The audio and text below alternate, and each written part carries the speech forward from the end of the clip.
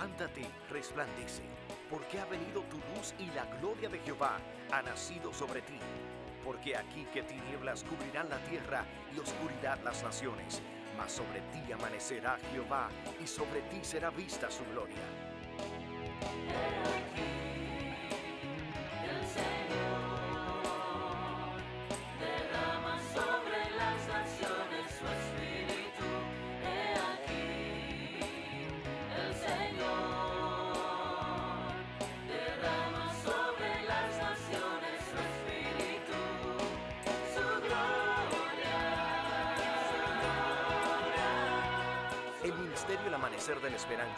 Presenta su programa Voz de Restauración con el pastor Juan Ramírez Fernández.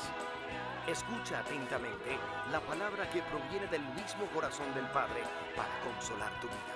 A continuación, el pastor Juan Ramírez Fernández. Isaías 35. ¿Ya lo tienen? Dice, se alegrará en el desierto, versículo 1, Isaías 35, 1 en adelante. Se alegrará en el desierto y la soledad. El yermo se, se gozará y florecerá como la rosa. Florecerá profusamente y también se alegrará y cantará con júbilo. La gloria del Líbano le será dada. La hermosura del Carmero y de Sarón. Ellos verán la gloria de Jehová, la hermosura del Dios nuestro. Fortaleced las manos cansadas y afirmad las rodillas endebles. Decid a los, a, los de corazón apocado, esforzaos, no temáis. He aquí que vuestro Dios viene con retribución, con pago. Dios mismo vendrá y os salvará. Entonces los ojos de los ciegos serán abiertos y los oídos de los sordos se abrirán. Entonces el cojo saltará como, un ciervo y cantará la lengua del mudo, porque aguas serán cavadas en el desierto y torrentes en la soledad. El lugar seco se convertirá en estanque y el sequedal en manaderos de aguas. En la morada de chacales, en su guarida, será lugar de cañas y juncos. Y habrá allí calzada y camino, y será llamado camino de santidad no pasará inmundo por él, sino que él mismo estará con ellos. El que anduviere en este camino, por torpe que sea, no se extraviará. No habrá allí león ni fiera subirá por él, ni allí se hallará, para que caminen los redimidos. Y los redimidos de Jehová volverán y vendrán a Sión con alegría, y gozo perpetuo será sobre sus cabezas. Tendrán gozo y alegría y huirán la tristeza y el gemir.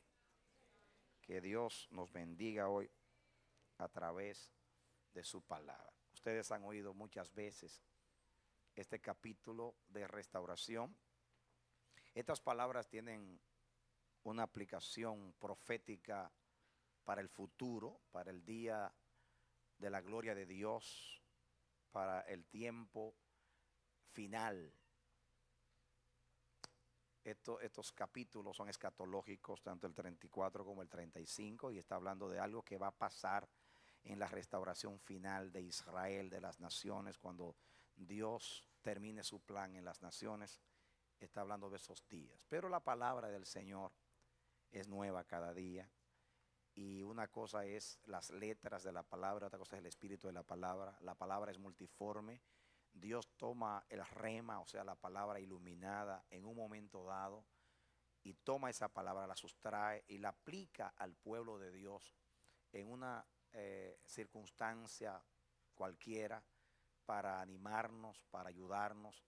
Dios actualiza su palabra. Hemos visto muchas cosas acontecer este año en el mundo político, en el mundo social, en el mundo económico. Ahora mismo estamos en una guerra en las naciones Estamos mirando muchas cosas. Nuestras vidas han experimentado cambios. Cada uno de ustedes puede decir que no es, no es el mismo desde que comenzó el año. El, el tiempo pasa y las circunstancias cambian, pero el plan de Dios siempre es el mismo. Dios siempre cumple su palabra. Dios siempre pastorea a su pueblo. Dios siempre guía a aquellos que le creen. Aunque los hombres crean que Dios los ha dejado que hagan y deshagan, Dios es Dios. Donde está el tesoro, está el corazón. Y el corazón de Dios está con su pueblo. Y Él prometió capitanearnos más allá de la muerte. Y Dios está velando en la tierra, en medio de todos los movimientos. Así como la Biblia habla de los vientos que soplan en las naciones, porque los vientos en la Biblia son una tipología de guerras, de conflictos, y también, así como las aguas son tipologías de las naciones, que, y las aguas están, están siendo golpeadas por los vientos de, de los conflictos, de las guerras, y pareciera que las olas del mar, las olas de las naciones están oscilando y llevando los hombres de aquí para allá y, los más fuertes se enseñorean de los más débiles y pareciera que todo sigue un rumbo normal. Pero hay un Dios que, que está en medio de la tormenta, de los conflictos, de las pasiones, de las luchas de los hombres, estableciendo su propósito. Lo ha hecho siempre y lo sigue haciendo hoy. Y como la iglesia es el instrumento de Dios para cumplir el propósito, Dios la cela como la niña de sus ojos. Los ojos de Jehová están hacia los justos. Diga conmigo, los ojos de Jehová están hacia mí, hacia la iglesia. Dios mira a las naciones, pero Él mira donde está su tesoro, ahí está. Y Él anuncia y sigue anunciando. Como dice aquí este capítulo, él anuncia que en medio del caos, de la anarquía, de todo lo que hay en la tierra hoy, que no es nada agradable, Él dice, se alegrarán el desierto y la soledad. Dios dice que el desierto se va a alegrar. El desierto no tiene nada de qué, de qué alegrarse, porque en el desierto no hay nada sino polvo, polvo levantado por el viento. En el desierto no hay nada ni se puede gozar el desierto ni el que está en el desierto. El que está en el desierto llora. El que está en el desierto se lamenta. El que está en el, desierto teme. El que está en el desierto se siente inseguro. Pero Dios dice aquí que el desierto se va a alegrar.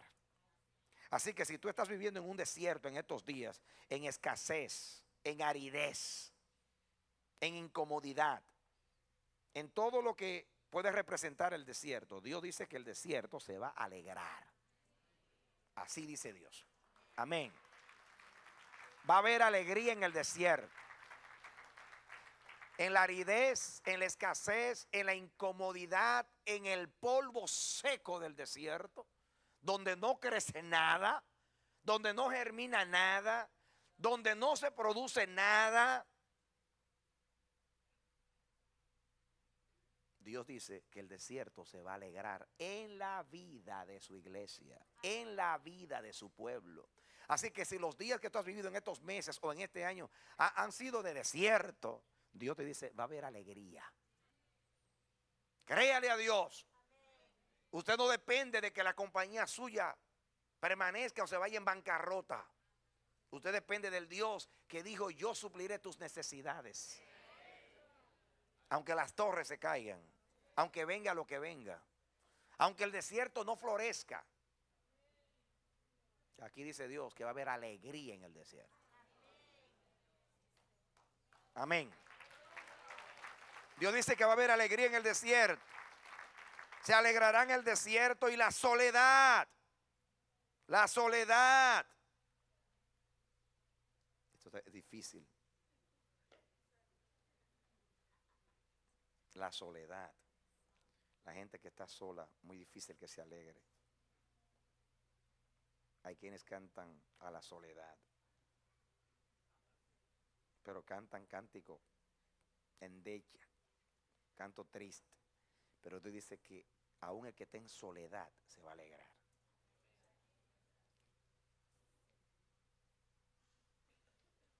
Tú sabes cuando uno está en soledad, cuando todos se han ido. Una vez hubo una hubo un concurso donde se le daba un premio a la persona que diera la definición más acertada acerca de la palabra amigo.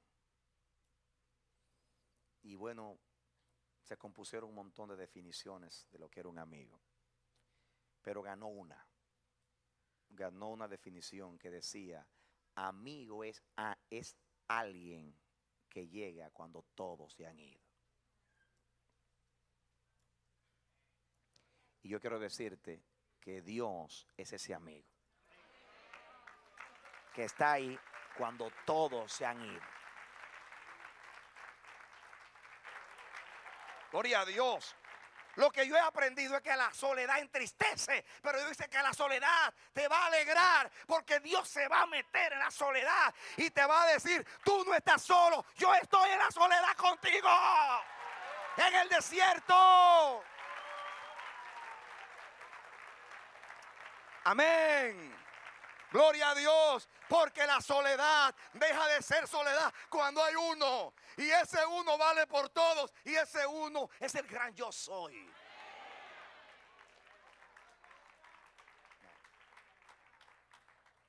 Qué promesa tan extraña, la soledad cantando. El yermo es el lugar solitario. Ese es el yermo, el lugar inhabitado. Ese es un yermo, un lugar inhabitado donde no crece nada, donde no hay nada. Y eso va a crecer como la rosa. El yermo como la rosa. Yermo es un lugar inhabitado, árido, seco, que no produce nada. Y de momento, la rosita. Las rosas. Ustedes saben cómo alegran las rosas. Si no, pregúntele a las mujeres.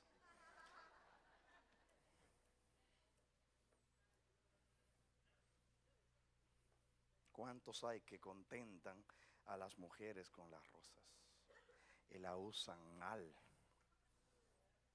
Pero las rosas alegran. Y el perfume de, las rosas produce algo en nosotros. Y Dios dice que si en el campo de tu vida, tu campo de tu vida es un yermo, un lugar inhabitado, solitario, árido, que no crece nada, van a comenzar a brotar las rosas con su perfume aromático, perfume precioso, su ungüento. Dios dice eso aquí para su iglesia hoy, para ti ahora. Amén. Y sigue diciendo la palabra de Dios. Dice, florecerá profusamente. No es que va a crecer, es que va a crecer profusamente, o sea, en abundancia. No es que va a aparecer una rosita acá y otra rosita acá y una allá. No, el Señor va profusamente.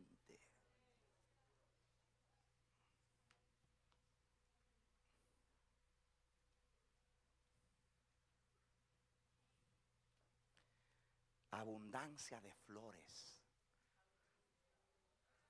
para alegrarte la vida.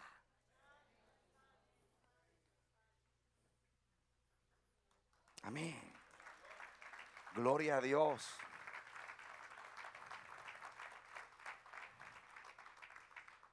Y fíjate que dice rosas, no espinas. Porque el diablo usa las espinas para lastimarte, pero usa las rosas para alegrarte. Eso dice aquí la palabra. Profusamente va, a florecer el desierto y el yermo y la soledad. Dice Dios. Pero mira, aplíquelo. Todo lo que en su vida esté seco y árido, comienza a confesar que hay rosas. Va a dejar de poner los ojos en las espinas. los, los va a poner ahora en las rosas. Dice aquí, florecerá profusamente y también se alegrará y cantará con júbilo. Y dice, la gloria del Líbano le será dada. Hermanos, la Biblia, la Biblia describe algunos lugares hermosos, el Carmelo y el Sarón. Son dos lugares que ustedes estudian la Biblia, saben que eran dos lugares hermosos. De hecho, ¿cómo, cómo se le llama a la, a la amada? La rosa de Sarón. Y el lirio de los valles. Pero cuando, la Biblia del, del Carmelo y de, y de Sarón son dos lugares muy, muy, muy, muy hermosos. Representan eh, eh, lo florido del campo, lo verde, lo precioso, lo profuso, lo abundante. Y Dios dice, en vez de ser el Arabá, allá el desierto, la parte sur de Palestina, que todo es desierto, la península del Sinaí, de esa parte que todo es desierto en el sur, de Berseba para allá, el Arabá, como se le llama al desierto, va a ser como, como esa parte norte, como el Carmelo, como el Sarón hermoso, verde, florido, profusamente crecido. Así dice Dios que va a ser tu vida, si tú lo crees. Amén. Créelo. Tú lo crees. Amén. Comienza hoy a aplicar la palabra en tu vida y a decir si mis realizaciones este año han sido un yermo, han sido una soledad, han sido un desierto. Jehová dice que las obras de mis, manos van a florecer como el Carmelo y como, el Carmelo y como el Sarón. Si la economía tuya en este año ha sido como el desierto, Dios dice como el Carmelo va a florecer. Amén. Todo lo que no ha producido, aquí dice que, va, que todo eso va a florecer profusamente, en verdor, como el campo que Jehová ha bendecido.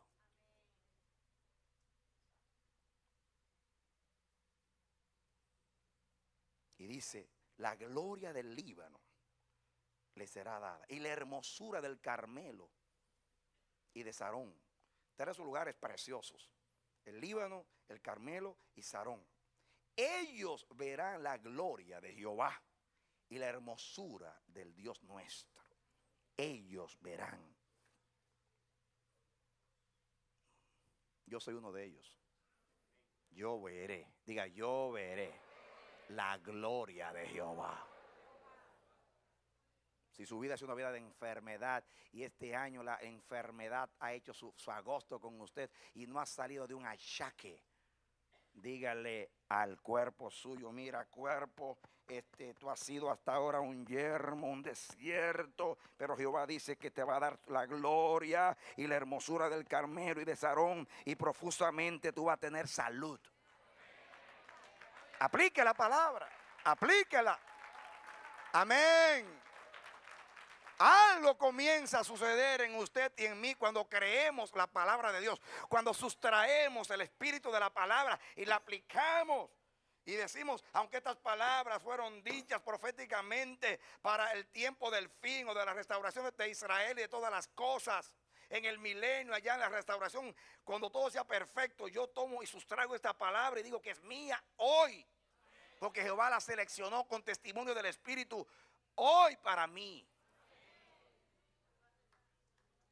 Créalo. Amén. Gloria a Dios. Ahora viene donde Dios quiere concentrarse. Versículo 3. Dice, fortaleced las manos cansadas y afirmad las rodillas endebles. Las manos nos hablan de obras. Diga, las manos nos hablan de nuestras obras. Hay personas aquí que han estado laborando todo el año o por muchos años, laborando como padres, como esposos, como obreros y otros como siervos de Dios en el ministerio que Dios les ha dado. Y el Espíritu revela que hay cansancio en el pueblo, hay fatiga, hay algunos que ya están como Moisés, que hay que sostenerle las manos. Han obrado tanto que ya las manos están cansadas. ya no pueden sostener las manos. Y el Dios de la restauración se levanta hoy y dice, yo voy a fortalecer las obras de vuestras manos. Amén. Hay quienes ya no tienen fuerza para orar.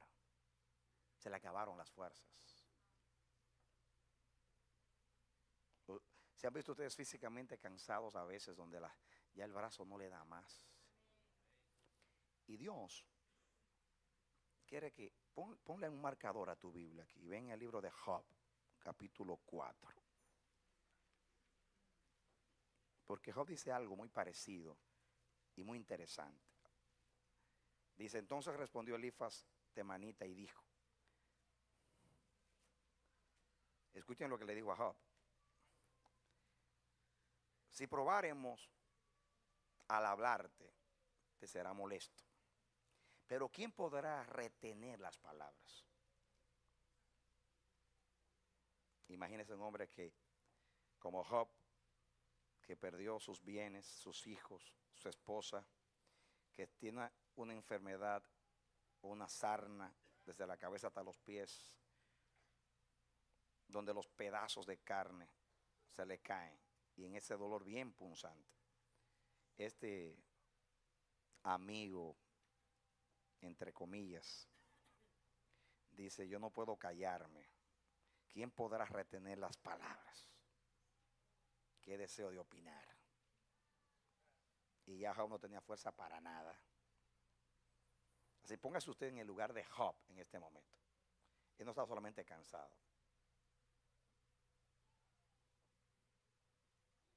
En un solo momento perdió todo. Todo lo que en esta vida provee felicidad y gozo y seguridad. Su esposa se le va, sus hijos están muertos, sus bienes fueron destruidos y su cuerpo se está yendo a pedazos. Y cuando tenga ese dolor, vienen, vienen estos amigos a juzgarlo, a añadir, ya ustedes saben, más dolor. Es mejor estar solo que mal acompañado, dice. Y dice este hombre que, que se hace difícil retener las palabras. Hay personas que llegan, llegan a tu vida en el día de aflicción y en vez de traerte bálsamo, lo que te traen es una acusación. Por algo te está pasando eso a ti. Analízate bien, dicen algunos.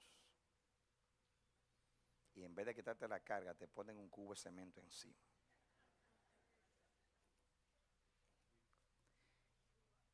Y saben, no pueden retener las palabras. Quieren opinar. Siempre analizar lo que te está pasando. He aquí, tú enseñabas a muchos. Y yo creo que Dios le va a hablar a unos cuantos aquí hoy con esto. He aquí, tú enseñabas a muchos y fortalecía las manos débiles. Aquí hay personas como Job que han enseñado a muchos y que han fortalecido muchas manos paralizadas. Aquí hay hermanos incansables que si alguien está enfermo van y lo visitan. Si alguien está en tribulación, van y lo asisten y le ayudan y corren aquí, corren allá, ayudando a los demás. ¿Cuántas manos débiles han fortalecido estos, hermanos ministros de Dios? Y dice el versículo 4, al que tropezaba, enderezaban tus palabras. Y cuando alguien perdía la fe o se, se desviaba, hay hermanos que salen inmediatamente a enderezar sus pasos. Al que tropezaba enderezaban sus palabras y esforzabas las rodillas que decaían. Miren aquí las dos cosas.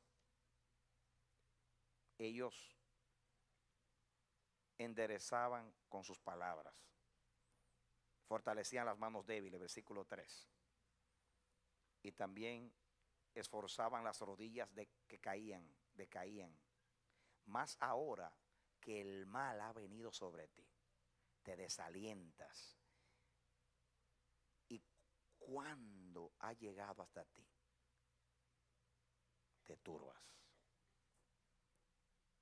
naturalmente, después sigue una acusación. Pero Dios os trae esta palabra para decir que hay muchos de ustedes, hermanos, que han sido una bendición para muchos. Que han estado ahí con sus palabras, animando a los débiles. Han estado ahí con sus intercesiones, sus oraciones, sosteniendo a los débiles de la iglesia. Han estado ahí dando fuerza a aquellos que ya tienen sus rodillas endebles o caídas. Pero ahora que le ha visitado el mal, están turbados.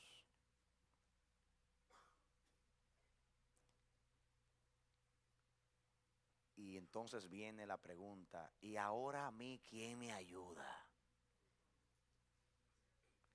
Y Dios dice, yo soy el que te ayudo. Amén. Amén. Dios viene y te dice, Tú que, te, que ha cansado tus manos levantando otras manos. Y tú que ha debilitado tus piernas y tus rodillas intercediendo y doblándolas a favor de los debilitados de mi pueblo. Yo vengo a ti en el día de tu turbación y te prometo voy a fortalecer tus manos debilitadas y voy también a, a fortalecer tus pies endebles, a afirmarlos. Y este es un mensaje para los ministros de Dios. Aquellos que siempre están preocupados por los demás, asistiendo y ayudando a los débiles, a los flacos, a los que caen. Ahora viene Dios y les dice, yo soy vuestra fuerza. Ustedes han invertido la de ustedes ayudando a los débiles de mi pueblo. Yo vengo hoy y prometo fortalecer las obras de vuestras manos. Yo vengo a afirmar vuestras rodillas para que ustedes puedan caminar. Porque con los pies se camina. Y ahí más adelante habla de un camino de santidad, un camino de propósito. Y Dios viene hoy y te dice, si tus rodillas están endebles, debilitadas, yo Jehová tu Dios te doy una inyección de fuerza y de poder para que tus rodillas puedan estar firmes y puedan caminar por el camino de mi propósito, te dice Dios. Recibe hoy para ti esta palabra. En el nombre de Jesucristo como a Job. Quizás el mal te ha, venido y la desgracia te ha visitado y tiene problemas económicos o problemas de salud o problemas en el hogar o cuántas, sabe cuántas cosas y ha estado lento, lenta y no tienes fuerza y quieres seguir siendo fiel, pero, pero no te salen las fuerzas, te, te has quedado sin aliento. Yo vengo a decirte, vengo a decirte que el Dios eterno es Jehová, que no se fatiga con cansancio, su entendimiento no hay quien lo alcance. Él da fuerza al cansado y multiplica las fuerzas al que no tiene ninguna. Amén. Dale un aplauso, bendícelo.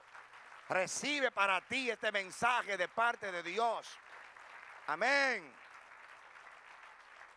Posiblemente el diablo con el espíritu de, Alifas ha venido a ti a decirte, ahora el mal te ha visitado, te ha invadido y tú que tú que has estado fortaleciendo a los demás y, haciendo por los demás y ocupado en las vidas de los demás. Y ahora, mira, tú te turbas. Y Dios te dice, no te turbes, no se turbe tu corazón, cree en Dios, cree también en mí. Yo soy tu Dios, que te esfuerzo, siempre te ayudaré, siempre te sustentaré con la diestra de mi justicia. La diestra salvadora mía, te dice Dios. Recibe ese mensaje de parte de Dios. Amén. Gloria a Dios. Amén. Acuérdate, mi hermano, mi hermana, que las manos, las manos son tus obras.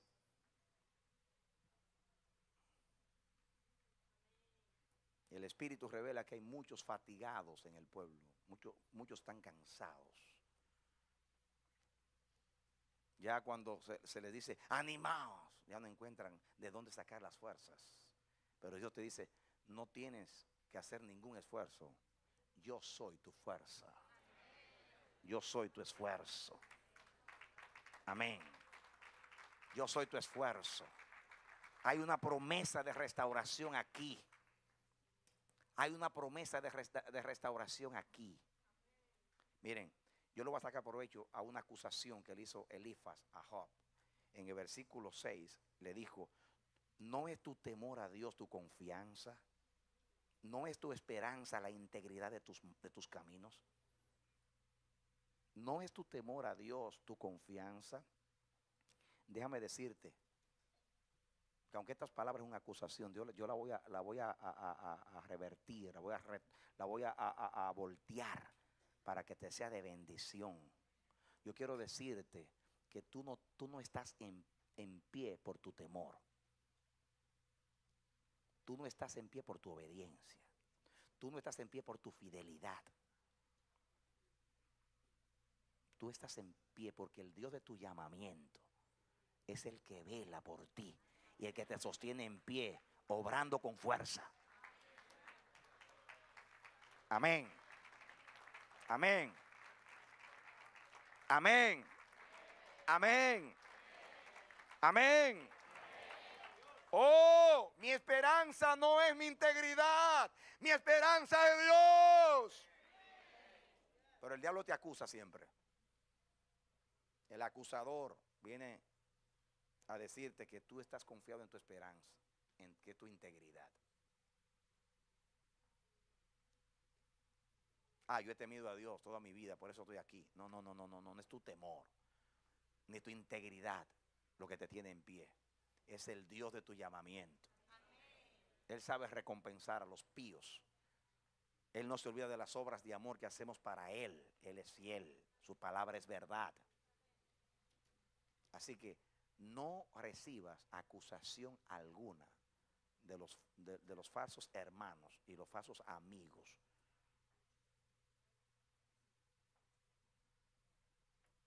que vienen en el día malo, en el día de la aflicción, a sacarte en cara y a juzgarte.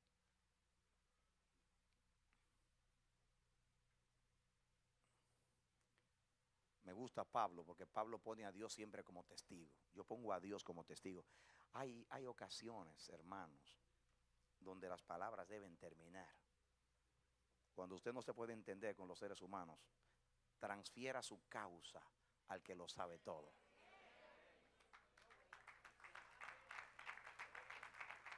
Amén.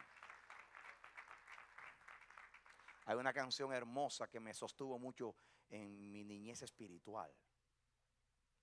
Se, titulaba Me basta que lo sepa Dios.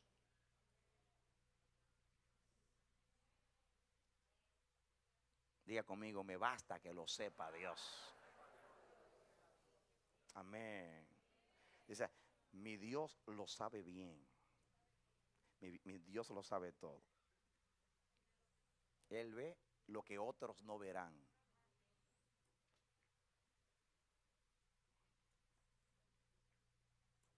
No se lo canto porque yo no entono bien, pero...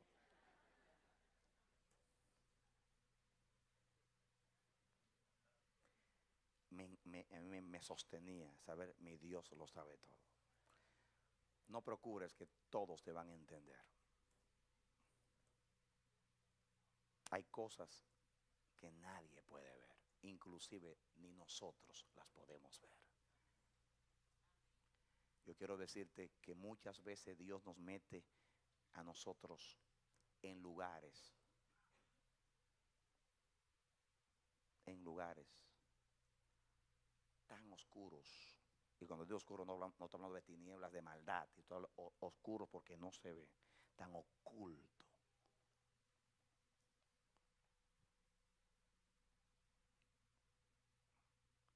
Que tú dices, ¿para dónde voy?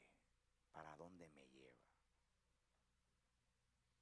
Pero Dios te dice, es necesario pasarte por ahí, porque tengo un propósito. Hay cosas que ni tú mismo entiendes, no pretendas que los demás te entiendan. Amén. Entonces, en esos casos, usted traslada. Señor, tú sabes todas las cosas. Muchas veces Dios aún a nosotros nos, nos manda a callar.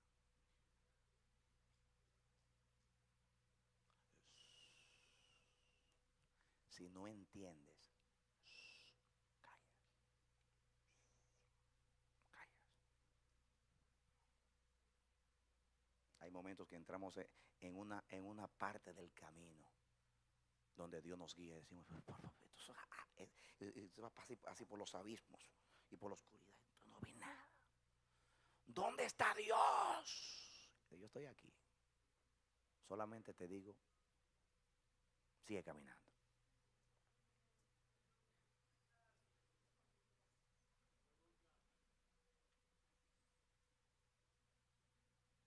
Que no te pase a lo que le pasó a Pedro.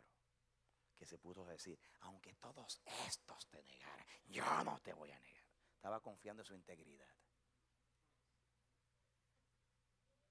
Y cuando el Señor lo vio tres días después, le tuvo que decir tres veces, Pedro, me amas más que estos. Un día le pregunté al Señor, ¿por qué, por qué, por qué le dijiste más que estos? Ah, porque Él dijo, aunque todos estos te negaren. A veces, nos, a veces estamos midiendo nuestra fidelidad y nuestra integridad por la de los demás. Y al fin, entonces, como lo negó tres veces, le dijo la primera vez, Pedro, me amas más que estos. Te amo. Pedro, me amas más que estos. Te amo. Pero la tercera vez, cuando le acordó la traición, ¿saben cómo contestó? Señor, tú sabes todas las cosas.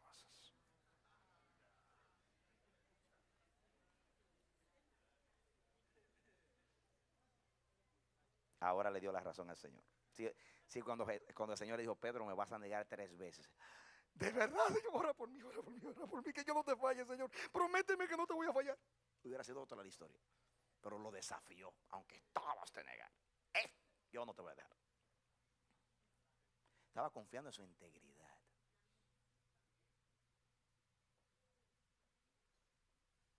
El que reconoce su debilidad no se le pide que mida sus fuerzas. Yo quiero decirte que el único fuerte es el Señor. Jehová, Jehová. Mire cómo dijo el mismo Señor en su gloria, ya que dice ahí que te va a mostrar la gloria. Cuando usted ve a Dios en la gloria, usted oye la voz de Jesús diciéndole al Padre Adonai, Adonai, fuerte, misericordioso y piadoso. Fuerte es Jehová. Castillo fuerte es nuestro Dios. Defensa y buen escudo. El fuerte es Él. No compita con nadie. Dígale a los, que quieren pasarle, váyate al frente. Si Jehová es conmigo, yo voy a llegar bien a la meta. Y voy a llegar coronado y no avergonzado.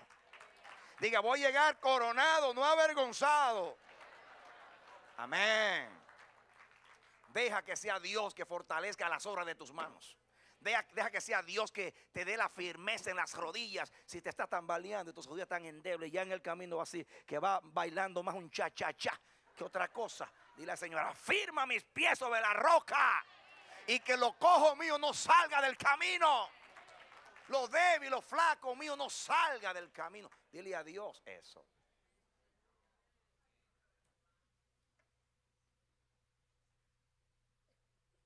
¿Por qué tratar de demostrar somos fuertes?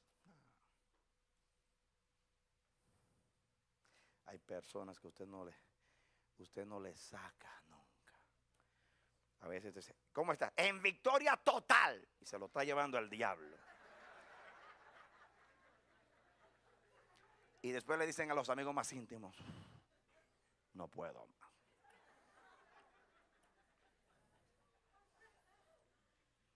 La que vive contigo es que, sabe, es que sabe si tú eres fuerte. O el que vive contigo. La que te dé el sobo de noche. Y el masajito. Y que te oye los gritos. mira. Ah. Yo prefiero que la gente diga, Él es débil, pero Jehová es su fortalecedor. Yo lo prefiero. Yo lo prefiero. ¿Tú sabes por qué ese hombre tiene fuerza en las manos? Porque Jehová se las levanta. ¿Tú sabes por qué ese hombre nunca está titubeando? Porque Jehová sostiene sus rodillas. Y la gloria de nuestra fuerza va a ser la gloria del Dios fuerte.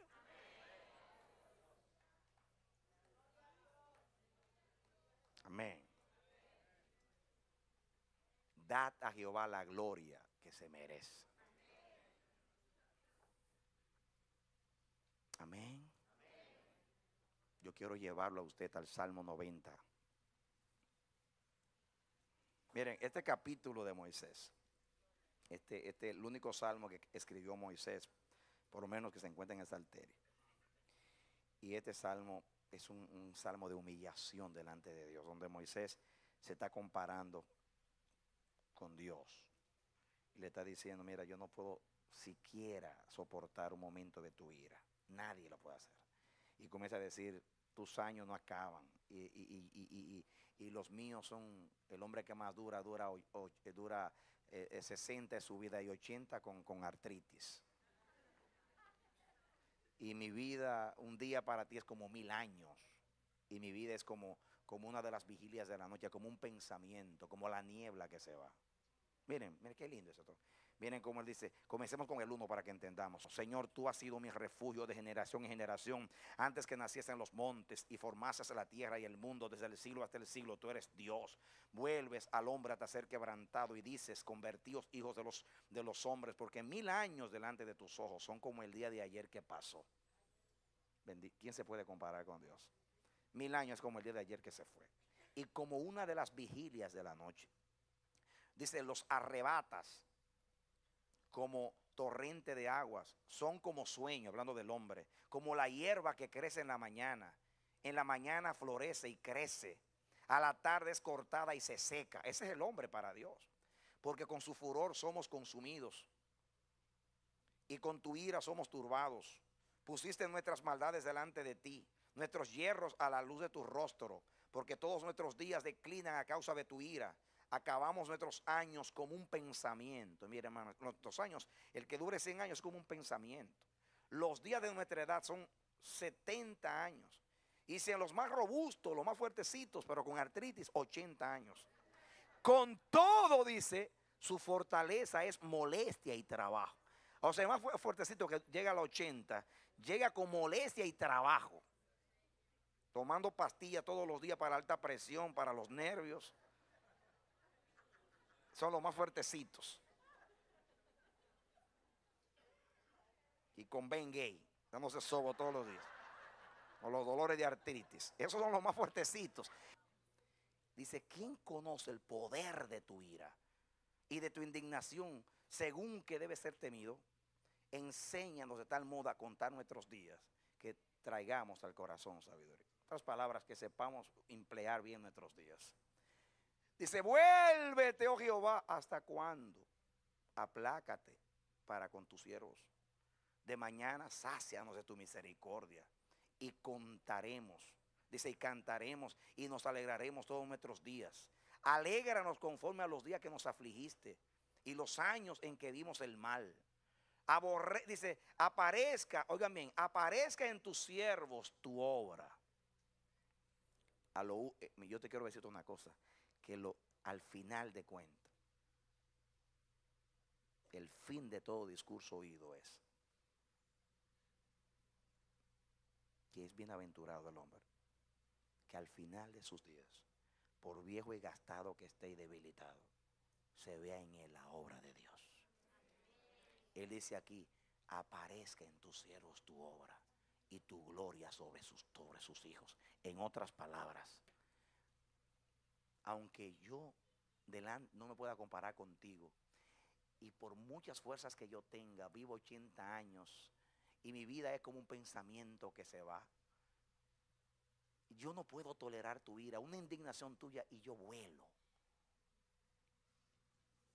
Pero permite que tu, que tu siervo, no importa cómo termine sus días, aunque sea en, en debilidad o en, o en fortaleza relativa, yo quiero que cuando yo me vaya, aparezca tu obra en mí. Que mis años tengan el sello de tu obra. Que la marca por aquí pasó Jehová en esta vida. que en el epistafio allá, la inscripción en la tumba, aparezca este, en este hombre se vio la obra de Jehová. No fue el hombre más fuerte de la tierra, ni el más intelectual, ni el más usado, ni el más ungido. Pero Jehová pasó por él y dejó sus huellas. Amén. Amén. Amén. El que le sirve a Jehová recibe fuerza. Pero si un día no tienes fuerza, lo importante es que aparezca en ti la obra de Jehová. Yo quiero decirte que es más importante que aparezca la obra de Dios en ti, que nunca falte fuerza en tu obra. ¿Entendiste? Es más importante que al final de tus días se vea el sello de que Jehová obró en ti y aparezca la inscripción, la manifestación, la evidencia de que Dios obró en ti. Que si nunca te faltara la fuerza para obrar.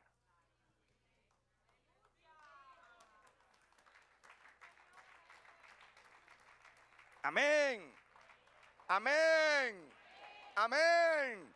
Cuando Pablo le pedía al Señor Después de ser abofeteado por el aguijón en su carne, aquel mensajero de Satanás que lo abofeteaba, le decía al Señor tres veces, sáname. Y el Señor le decía, no bástate mi gracia, porque mi poder se perfecciona en la debilidad. Y cuando eres débil, entonces eres poderoso. En otras palabras, si yo soy tu fuerza, eres poderoso aunque tú no tengas un solo grano de energía y estés en la cama de un hospital, que la gente no te recomiende para nada y eres un candidato para la muerte. Afírmate en la obra de Jehová y dile, Señor, que aparezca aún en mi cadáver, aparezca tu obra.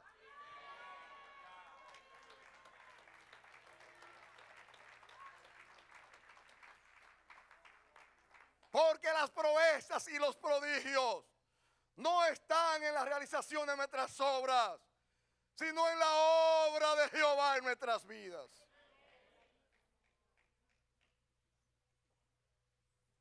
Y, y la oración de Moisés es a Dios.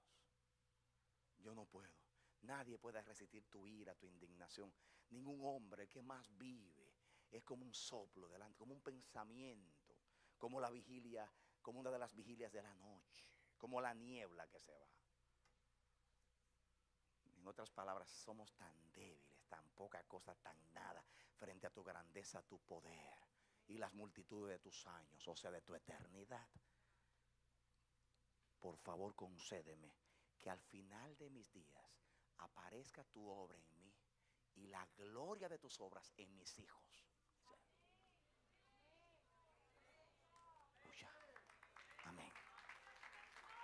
Amén. Amén. Eso le pasó a todo aquel que anduvo en fe. Abraham. Abraham. Vio la obra de Dios en él. Y cuando murió a los 175 años en ese ataúd, se podía decir, por aquí pasó la mano de Dios en la vida de este hombre. Muchos fueron sus años, llenos de vigor, pero tuvo que morir porque todo el que vive sabe que ha de morir. Pero todos sabemos que Dios obró en la vida de Abraham. Isaac, su hijo, vio la gloria de la obra que Dios hizo en el Padre. Isaac vio la gloria de la obra que Dios hizo en Isaac. Eh, o sea, Jacob vio la obra que Dios hizo en Isaac que nuestros hijos vean la gloria de lo que Dios hizo en nosotros. En otras palabras, perpetúa en mi generación la obra de tus manos.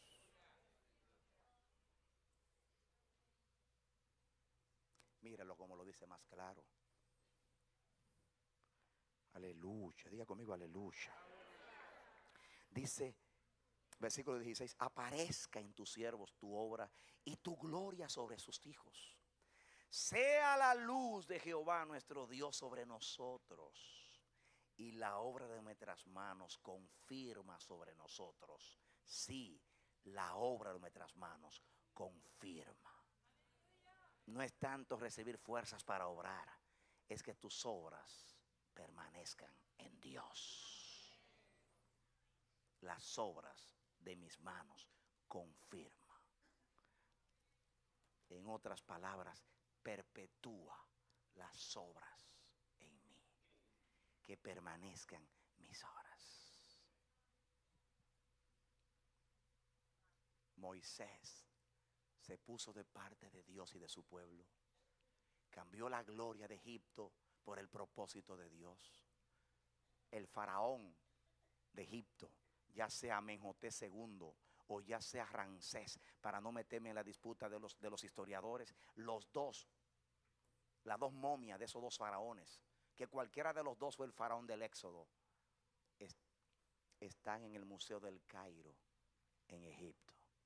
Pero Moisés, a Moisés se lo llevó Dios. No es una momia en el Cairo. Apareció con Jesús en la transfiguración. Eso quiere decir que su obra fue confirmada.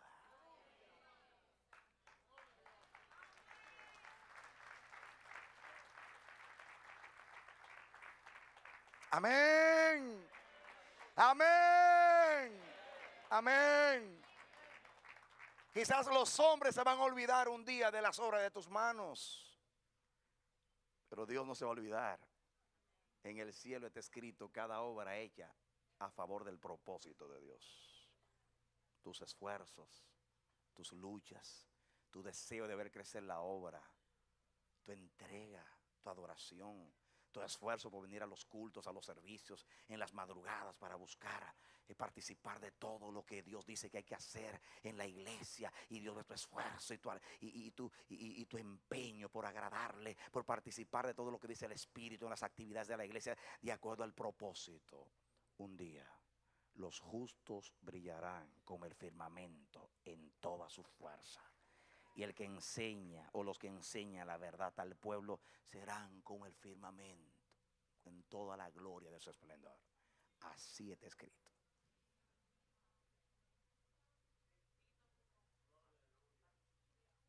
Amén. Gloria a Dios. Y yo quiero terminar otra vez en Isaías 35 repitiéndote las palabras de versículo 3, fortalece las manos cansadas y afirmar las rodillas endebles. Decid a los de corazón apocado, los que están caídos, desanimados, neutralizados, cabizbajos, sin fuerza, endebles. Esforzaos. No temáis. He aquí que vuestro Dios viene con retribución. Viene con venganza para los que le hicieron mal pero viene con, viene con pago, viene con recompensa. Dios mismo vendrá y os salvará. Aquí dice, yo no voy a mandar a nadie, yo mismo vendré a salvarlo, dice Jehová. Yo descenderé a salvarlos. Yo no voy a delegar ningún ángel, yo voy a ir. Eso pasa como el profeta cuando hablaba de los pastores infieles que dice que, no cargaban las pendiquebradas, que, se, que se, se, enriquecían con la lana y solamente estaban interesados en la leche de las ovejas y no cuidaron las ovejas. Dice el buen pastor, yo mismo vendré y pastorearé mi rebaño, dice Dios. Yo mismo descenderé, dice Dios, que yo mismo voy a venir a salvar a mi pueblo. Voy a venir a recompensar a los píos. Yo mismo, dice Dios, vendré a dar fuerza a mi pueblo. Créalo. Amén. Créalo, créalo, créalo, créalo. Celébrelo. Disfrútelo. Apropiese de la bendición. Es palabra de Dios para los apocados, los de poco ánimo, los caídos de su pueblo, los débiles. Es palabra de restauración para hoy, para mañana y para siempre, para el pueblo de Dios. ¿Cuántas veces el Espíritu Santo ha usado este capítulo? ¿Y cuántas veces lo va a usar en el futuro en tu vida? cuántas veces esta palabra vendrá como la buena noticia en el correo vendrá tu vida. Hoy abre el correo de la promesa y hay un mensaje de Dios, una tarjeta de Navidad que te dice, yo mismo vendré y te fortaleceré. Yo te salvaré, yo Jehová.